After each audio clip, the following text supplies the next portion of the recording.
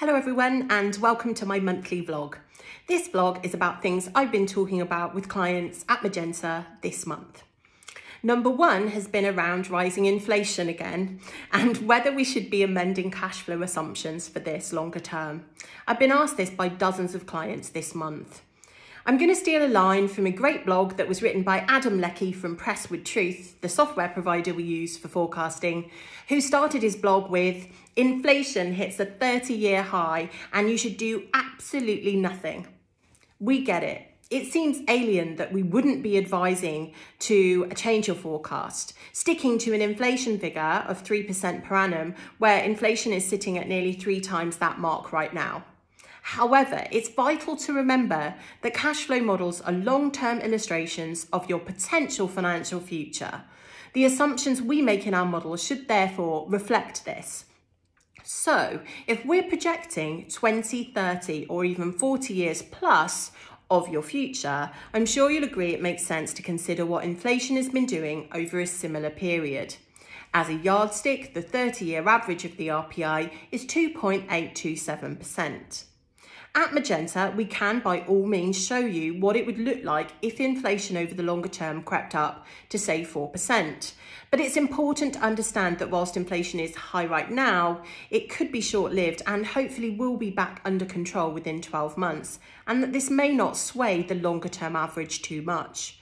We will, of course, continue to monitor this for all our clients and let you know if we need think that changes are required. If you fancy reading Adam's full blog, which is designed for practitioners like me, but is really interesting, then do pop to truthsoftware.co.uk for their Insights tab, um, which is where you can find their blog. Number two is about gift aid. I've been asked several times this month about gift aid and what limits are placed on claiming gift aid. Donations through gift aid means charities can claim an extra 25p for every pound you give and it doesn't cost you any extra. And if you pay tax above the basic rate, you can claim the difference between the rate you pay and the rate of the donation, known as higher rate tax relief to be honest, I don't think many people really think about the details of this too much and just tick that box knowing um, they're making a donation. Um, but knowing the rules is quite important in several scenarios. The danger comes if you either don't pay any tax at all or you make larger contributions to charity and don't pay enough tax to be able to claim the uh, tax relief. To use gift aid, you must have paid enough income and capital gains tax um, to HMRC in the tax year in which you make the donation. It needs to at least be equal to the amount the charity will reclaim. Another way to calculate this is your donations will qualify as long as they're not more than four times what you have paid in tax in that tax year. You must tell the charities you support if you stop paying enough tax, because if not, you or they may need to repay the tax relief.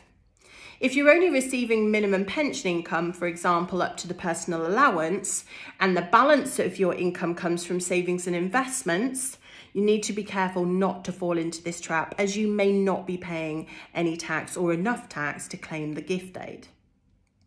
If you're concerned, then of course get in touch and we can check everything for you. Number three is why do we have all this content about women and do we not want to look after male clients anymore? We got asked by a long-standing client this month why he was being bombarded with feminist blogs. I wanted to address this in my vlog because it's important to me that we don't alienate any client and to make sure that everyone knows we're certainly um, uh, not trying to make people feel unwelcome. In March, it was International Women's Day, and we decided for the month to focus content to celebrate this day, educating women about finance and promoting our fantastic new Women's Guide. At Magenta, we are passionate about helping everyone with their financial planning. But it's no secret that we really feel women need a slightly different approach when considering their finances, and we feel we are well placed to deliver a great service for women. When Julie and I started Magenta, we found naturally more women approached us as new clients because we were female. Advisors. In fact, only 16% of advisors are female in the UK, so we're quite rare and hard to find. Currently, the growth in women's wealth is outpacing the overall growth in global wealth, yet women are still less likely to seek financial advice than men, and it just doesn't add up. And two, so many women are still putting their futures in jeopardy by leaving their partners to handle all their finances. Females are the largest underserved segment in financial services, so this is something that Magenta wants to try and address. We do still work with many male clients and couples, all of whom we welcome because our passion is financial planning.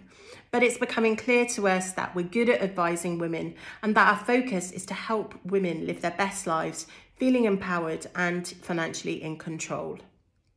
Saying that, we're still delighted to work with any new client who is attracted to our experience and knowledge, our style and brand, and of course, our people, because it's all really just about people and planning for the future. So that's my three things this month, and I hope you found it useful and of interest. If you want to chat more about financial planning, get in touch, and we'd be delighted to help.